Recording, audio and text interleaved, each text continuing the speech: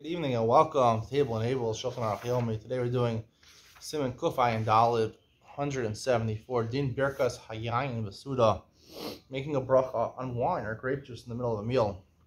Yes, you have to make a bracha. We'll talk about that. Olive Yayin Vasuda Mavarach Al Bar Priagafen.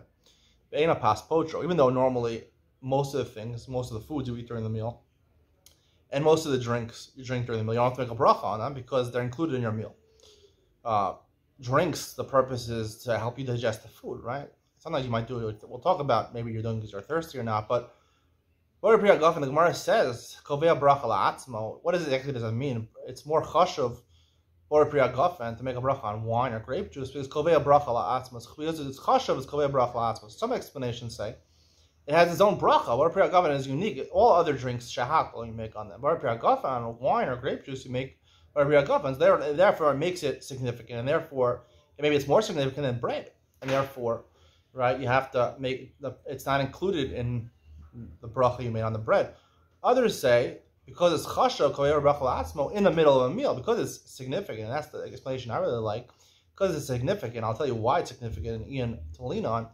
Therefore, it's not included in your meal, and you you have to make your own bracha. Bays yayin poter komine mashkin. This has nothing to do with a meal. If you're drinking a glass of wine and you have other liquids on the table, you don't have to make a bracha on all those other liquids. Even if you're drinking seltzer, drinking apple juice, the Bora Bracha exempted them. Haga, feeling bracha rishona, even not not only for bracha chorno, even bracha rishona, you don't have to make a bracha. The Mishnah mentions that if you're kove, if you sat down with your friends, your, your cronies to go and drink together in the bar, so therefore, even if the other, you know, apple juice and you know, water is not on the table, they bring it to you afterwards, that's like a meal almost, and therefore you don't make a bracha, even if they bring it to you afterwards. Gimel, Melo Ela Kos Echad, if you only have one cup of wine, Menicho Mavarich Alav.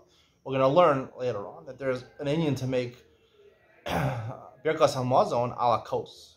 Sometimes it's supposed to make Birkas Hamazon. A lot of people do this um, to make sure that when they bench zimun, there should be a kos of, of of wine or grape juice. So if you only have one cup, the best thing to do, the Gemara indicates, is to leave it until after the meal. We'll talk more about this when we get there. Dalit im kavalishtel mazon.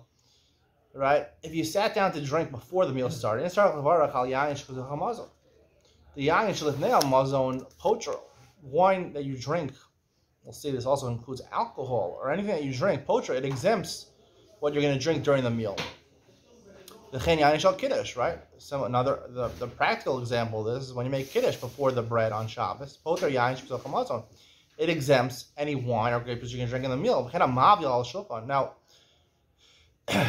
it's a bit machlokas among the post and whether the other wine that you're going to drink to the meal has to be on the meal. Let's say I make a, uh, a kiddush on grape juice, and then I bring out some champagne during the meal, right? If it wasn't on the table, that's a machlokas. Savik brachas actually don't make a bracha on that in that circumstance. So machlokas whether you have to make a bracha or not. And a mavdil al shulchan when you're making Havdalah, some people have them right after Havdalah to go right into the malava malka. Poter hayayin shabasocha mazon. You're gonna make a bracha a bori priyagafen on the grape juice, and then you're gonna wash on bread right after it. So therefore, that and you're gonna drink grape juice during the meal. That is exempted from with the with the hav, the glass of Havdalah, the wine of Havdalah. Yishalom shein bracha yain Havdalah poter el kin. Havdalah. The Tosfos argues in the Rosh and says no that you only it only helps to potter by Havdalah because Havdalah you're not drinking it for the meal. Kiddush you're drinking it for the meal. Havdalah you're drinking it to Shabbos, Simon to Shabbos. So unless you wash your hands before right Tilas Yadayim before Havdalah, then it wouldn't. But with the Evid, Hilkach. Um, Kodem netila yichavin shalol hotzi yayin. There's chachamav the kodem netila. Someone makes havdalah before netilas yadayim. Should have kavana. Should have kavana. The havdalah doesn't exempt the wine, and therefore, when you drink the wine during the meal, you can make a bracha. But with the eved shalo kivein kach poter yayin suda.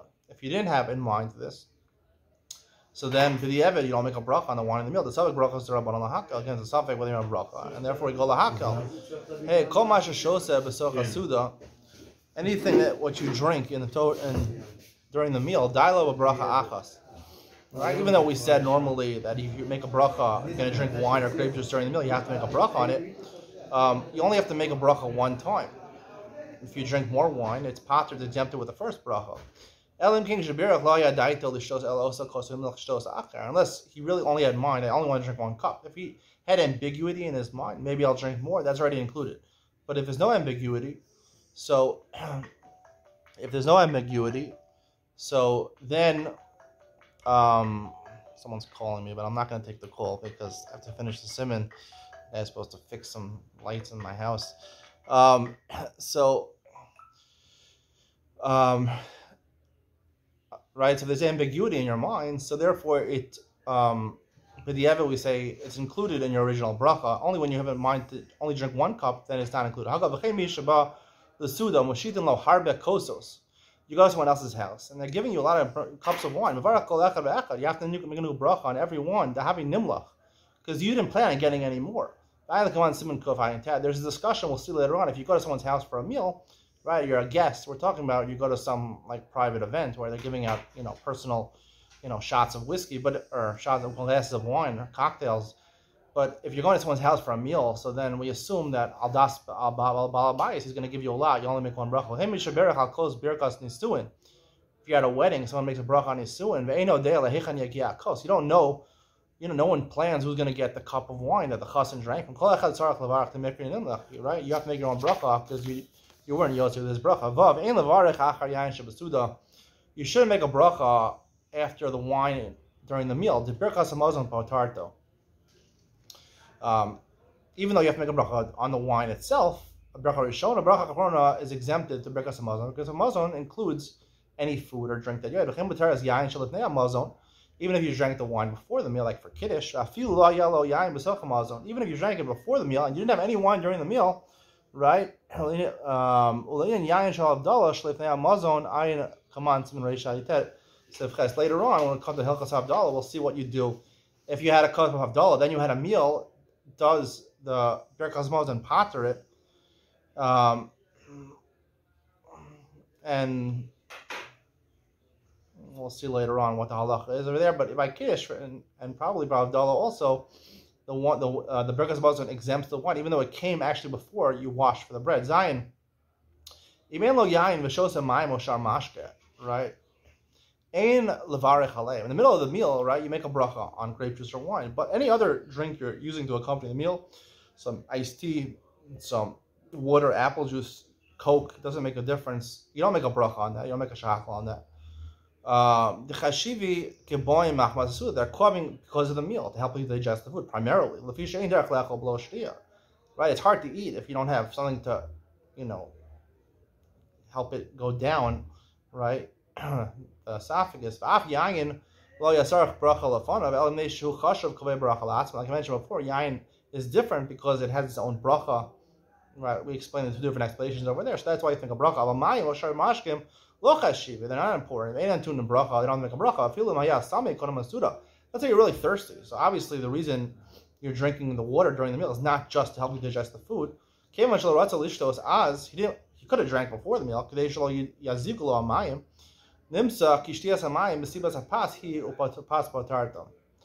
Because he felt to have water before your meal is not the best. It's best to have food and then to, to wipe it down with water. So it turns out that the, the real purpose of your drinking, even though you were very thirsty, but it's also because to help the food go down your esophagus. Some say you should make a bracha on the water during the meal. Some say even water should, or apple you should drink every time. Who says you're going to drink two cups of apple? I'm only giving you one cup of apple juice. I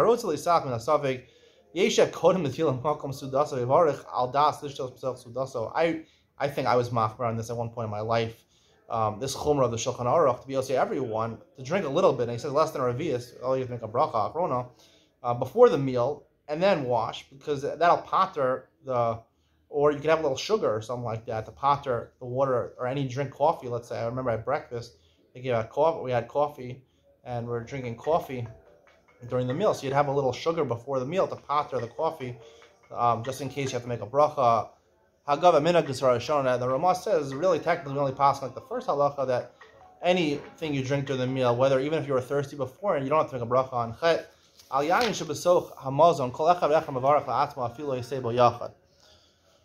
Um, the wine that's in the middle of the meal, everyone makes a bracha. Um,